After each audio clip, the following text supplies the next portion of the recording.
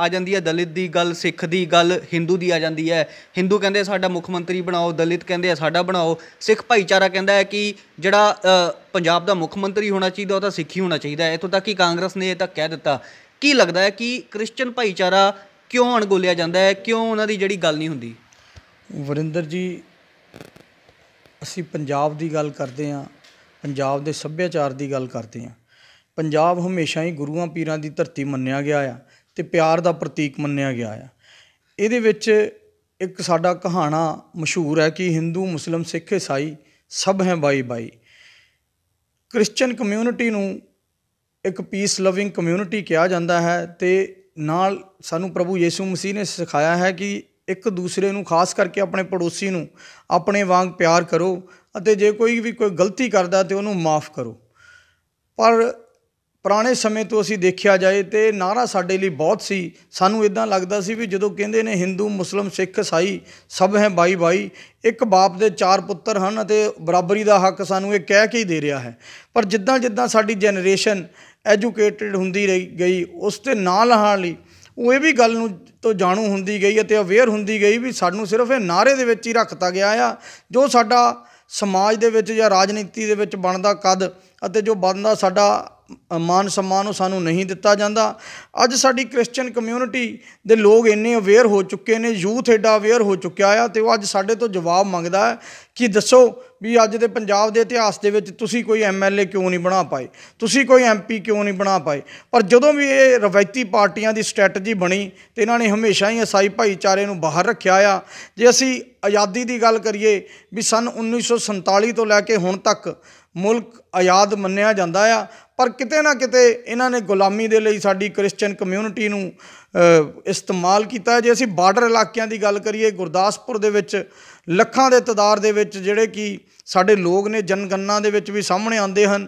Border ਇਲਾਕਾ ਅੰਮ੍ਰਿਤਸਰ ਹੋ ਜਵੇ, ਗੁਰਦਾਸਪੁਰ ਹੋ ਜਵੇ, ਆਪਣਾ ਫਿਰੋਜ਼ਪੁਰ ਹੋ ਜਾਏ ਇਹ ਸਾਰੀ ਦੀ ਸਾਰੀ ਬੈਲਟ ਸਾਡੇ ਕ੍ਰਿਸਚਨ ਬੈਲਟ ਹੈ, ਜਿੱਥੇ ਲੋਕ ਸਾਡੇ ਖੇਤਾਂ 'ਚ ਮਜ਼ਦੂਰੀ ਕਰਦੇ ਹਨ, ਰਾਜ ਮਿਸਤਰੀ ਦਾ ਕੰਮ ਕਰਦੇ ਹਨ ਅਤੇ ਹਰ ਇੱਕ ਤਰ੍ਹਾਂ ਦੇ ਕੰਮ ਦੇ ਵਿੱਚ ਹੱਥ ਵਟਾਉਂਦੇ ਹਨ ਤਾਂ ਕਿ ਸਮਾਜ ਦਾ ਇੱਕ ਜਿਹੜਾ ਇਮਾਰਤ ਹੈ ਉਹ ਆਪਣੇ ਥੰਮਾਂ ਤੇ ਖੜੀ ਰਹਿ ਸਕੇ। ਆਖਰੀ ਸਵਾਲ ਹੈ ਐਲਬਰਟ ਜੀ, ਮੇਰਾ ਇਸ ਵਾਰ ਜਿਹੜੀਆਂ ਚੋਣਾਂ ਨੇ, ਇਸ ਵਾਰ ਪਾਰਟੀਆਂ ਜਿਹੜੀਆਂ ਬਹੁਤ ਨੇ, ਬੀਜੇਪੀ ਵੱਖਰੀ ਹੈ, ਅਕਾਲੀ ਦਲ ਵੱਖਰੀ ਹੈ, ਕਾਂਗਰਸ ਵੱਖਰੀ ਹੈ ਉਸ ਤੋਂ ਬਾਅਦ ਤੀਜਾ ਫਰੰਟ ਬਣ ਗਿਆ ਹੈ, ਹੋਰ ਵੀ ਕਈ ਪਾਰਟੀਆਂ ਜਿਹੜੀਆਂ ਦੱਸੀਆਂ ਜਾ ਰਹੀਆਂ ਕਿ ਹੋਰ ਵੀ ਜਿਹੜੇ ਗਠਜੋੜ ਹੈ, ਚੋਣਾਂ ਦੇ ਨੇੜੇ ਆ ਕੇ ਹੋ ਸਕਦੇ ਨੇ।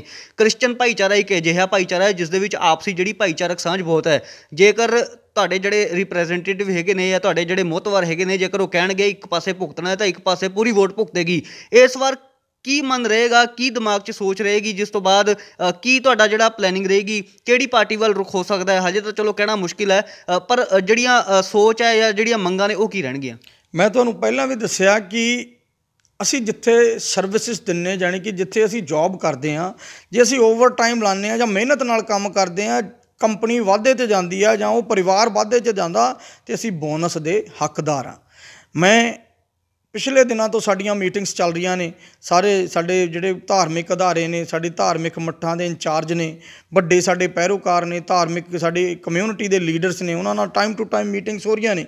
ਤੇ ਉੱਥੇ ਗੱਲ ਨਿਕਲ ਕੇ ਆਈ ਹੈ ਵੀ ਸਾਡੇ ਅਕਾਲੀ ਦਲ ਦੇ ਨਾਲ ਜੁੜੇ ਲੋਕ, ਬੀਜੇਪੀ ਦੇ ਨਾਲ ਜੁੜੇ ਲੋਕ ਕਾਂਗਰਸ ਦੇ ਨਾਲ ਜੁੜੇ ਲੋਕ ਤੇ ਆਮ ਆਦਮੀ ਦੇ ਨਾਲ ਜੁੜੇ ਲੋਕ, ਉਹਨਾਂ ਦੀ ਸੇਵਾ ਦੇ ਹਿਸਾਬ ਦੇ ਨਾਲ ਸਾਨੂੰ ਟਿਕਟਾਂ ਦਿੱਤੀਆਂ ਜਾਣ।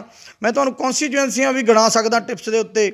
ਜਿਵੇਂ ਡੇਰਾ ਬਾਬਾ ਨਾਨਕ, ਗੁਰਦਾਸਪੁਰ, ਕਾਦੀਆਂ, ਬਟਾਲਾ, ਫਤਿਹਗੜ੍ਹ, ਚੂੜੀਆਂ ਅਤੇ ਤੁਹਾਡਾ ਸ਼੍ਰੀ ਹਰੀ ਗੋ- ਹਰਗੋਬਿੰਦਪੁਰ ਇਦਾਂ ਦੀਆਂ ਕਨਸਟੀਚੁਐਂਸੀਆਂ ਮੈਜੋਰਟੀ ਦੇ ਵਿੱਚ ਨੇ, ਜਿੱਥੇ ਨਰੋਲ ਸਾਡਾ ਕ੍ਰਿਸਚਨ ਭਾਈਚਾਰਾ ਆਪਣੀਆਂ ਹੀ ਵੋਟਾਂ ਦੇ ਨਾਲ ਐਮਐਲਏ ਬਣਾ ਸਕਦਾ ਆ। ਮੈਂ ਇਹਨਾਂ ਸਾਰੀਆਂ ਪਾਰਟੀਆਂ ਤੋਂ ਡਿਮਾਂਡ ਕਰਦਾ ਆਪਣੇ ਲੀਡਰਸ ਲਈ, ਆਪਣੇ ਸੇਵਾਦਾਰਾਂ ਦੇ ਲਈ, ਕਿ ਉਹਨਾਂ ਨੂੰ ਆਪਣੀਆਂ ਟਿਕਟਾਂ ਦੇ ਕੇ ਨਵਾਜਣ, ਤਾਂ ਕਿ ਸਾਡੇ ਲਈ, ਸਾਡੇ ਦਰਦਾਂ ਲਈ, ਸਾਡੀਆਂ ਜ਼ਰੂਰਤਾਂ ਲਈ, ਸਾਡੇ ਲੋਕ ਵਿਧਾਨ ਸਭਾ 'ਚ ਜਾ ਕੇ ਹਾਂ ਦਾ ਨਾਰਾ ਮਾਰਨ ਅਤੇ ਸਾਡੇ ਕਮਿਊਨਿਟੀ ਦੇ ਲੋਕਾਂ ਦਾ ਵਿਕਾਸ ਹੋ ਸਕੇ ਅਤੇ ਉਹਨਾਂ ਦੀ ਉન્નਤੀ ਹੋ ਸਕੇ।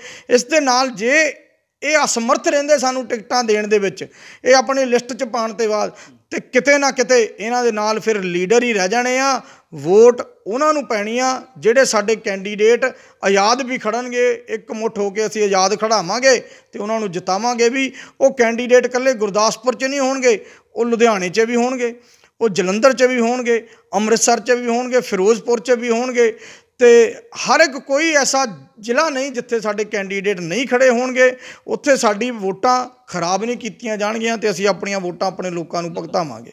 ਸੋ ਸੋ ਇਹ ਬਹੁਤ ਵੱਡੀ ਗੱਲ ਜਿਹੜੀ ਹੈ ਐਲਬਰਟ ਦੂਆ ਜੀ ਨੇ ਕੀਤੀ ਹੈ। ਉਹਨਾਂ ਨੇ ਕਿਹਾ ਹੈ ਕਿ ਜੇਕਰ ਰਾਜਨੀਤਿਕ ਪਾਰਟੀਆਂ, ਜਿੰਨੀ ਵੀ ਸਿਆਸੀ ਪਾਰਟੀਆਂ ਹੈਗੀਆਂ ਹੈ, ਤੇ ਉਹਨਾਂ ਨਾਲ ਜਿੰਨੇ ਵੀ ਕ੍ਰਿਸਚੀਅਨ ਭਾਈਚਾਰਾ ਜਿਹੜਾ ਜਿਹੜੇ ਮੋਤਬਾਰ ਹੈਗੇ ਜਿੰਨੇ ਵੀ ਜੁੜੇ ਹੋਏ ਆ, ਜੇਕਰ ਉਹ ਉਹਨਾਂ ਨੂੰ ਟਿਕਟਾਂ ਨਹੀਂ ਦਿੰਦੇ, ਉਹਨਾਂ ਨੂੰ ਅਗਵਾਈ ਦਾ ਮੌਕਾ ਨਹੀਂ ਦਿੰਦੇ, ਤਾਂ ਉਹ ਆਪਣੇ ਉਮੀਦਵਾਰ ਜਿਹੜੇ ਆ, ਉਹ ਆਜ਼ਾਦ ਖੜੇ ਕਰਨਗੇ। ਆਜ਼ਾਦ ਖੜੇ ਕਰਨ ਤੋਂ ਬਾਅਦ ਜਿਹੜੇ ਇਲਾਕੇ ਦੇ ਵਿੱਚ ਉਹਨਾਂ ਦਾ ਚੰਗਾ ਵੋਟ ਬੈਂਕ ਹੈ, ਉੱਥੇ ਉਹ- ਉਹਨਾਂ ਨੂੰ ਵੋਟ ਭੁਗਤਾਉਣਗੇ। ਪੂਰੀ ਕਮਿਊਨਿਟੀ ਜਿਹੜੀ ਹੈ ਇਕਜੁੱਟ ਹੋਵੇਗੀ। 2022 ਵਿਧਾਨ ਸਭਾ ਦੇ ਵਿੱਚ ਆਪਣੀ ਤਸਵੀਰ ਜਿਹੜੀ ਹੈ, ਉਹ ਕ੍ਰਿਸਚੀਅਨ ਭਾਈਚਾਰੇ ਨੇ ਸਾਫ਼ ਕਰ ਦਿੱਤੀ ਹੈ ਕਿ ਜੇਕਰ ਜੋ ਰਵਾਇਤੀ ਪਾਰਟੀਆਂ ਉਹਨਾਂ ਨੂੰ ਅਗਵਾਈ ਕਰਨ ਦਾ ਮੌਕਾ ਨਹੀਂ ਦਿੰਦੀਆਂ, ਤਾਂ ਉਹ ਆਜ਼ਾਦ ਉਮੀਦਵਾਰ ਖੜਨ ਤੋਂ ਵੀ ਗੁਰੇਜ਼ ਨਹੀਂ ਕਰਨਗੇ, ਕਿਉਂਕਿ ਉਹਨਾਂ ਨੇ ਸਾਫ਼ ਤੌਰ ਤੇ ਕਿਹਾ ਹੈ ਕਿ ਜਿਹੜੀ ਗੁਰਦਾਸਪੁਰ ਬੈਲਟ ਹੈਗੀ ਹੈ, ਹੋਰ ਕਈ ਥਾਵਾਂ ਦੇ ਉਹਨਾਂ ਨੇ ਜ਼ਿਕਰ ਕੀਤਾ ਹੈ ਕਿ ਉੱਥੇ ਵੱਡੀ ਤਾਦਾਦ 'ਚ ਕ੍ਰਿਸਚੀਅਨ ਭਾਈਚਾਰਾ ਹੈ ਤੇ ਉਹਨਾਂ ਦੀਆਂ ਵੱਡੀਆਂ ਸਮੱਸਿਆਵਾਂ ਨੇ, ਪਰ ਆਜ਼ਾਦੀ ਤੋਂ ਬਾਅਦ ਹੁਣ ਤੱਕ ਪੰਜਾਬ ਦੇ ਵਿੱਚ ਕਿਸੇ ਐਮਪੀ ਨੂੰ ਨਹੀਂ ਬਣਾਇਆ ਗਿਆ, ਕਿਸੇ ਐਮਐਲਏ ਕ੍ਰਿਸਚੀਅਨ ਨੂੰ ਨਹੀਂ ਬਣਾਇਆ ਗਿਆ, ਜਿਸ ਦੀ ਵੱਡੀ ਵਜ੍ਹਾ ਇਹ ਰਹੀ ਹੈ ਕਿ ਕ੍ਰਿਸਚੀਅਨ ਕਮਿਊਨਿਟੀ ਜਿਹੜੀ ਹੈ, ਕਿਤੇ ਨਾ ਕਿਤੇ ਉਹ ਜ਼ਰੂਰ ਇਹ ਸਮਾਜ ਦੇ ਵਿੱਚ ਦਬ ਕੇ ਰਹਿ ਗਈ ਹੈ ਤੇ ਹੁਣ ਉਹਨਾਂ ਨੂੰ ਬਾਹਰ ਕੱਢਣ ਲਈ ਜਿਹੜੇ ਉਹਨਾਂ ਦੇ ਆਗੂ ਹੈਗੇ ਨੇ, ਜਿਹੜੇ ਉਹਨਾਂ ਦੇ ਲੋਕ ਹੋਣਗੇ,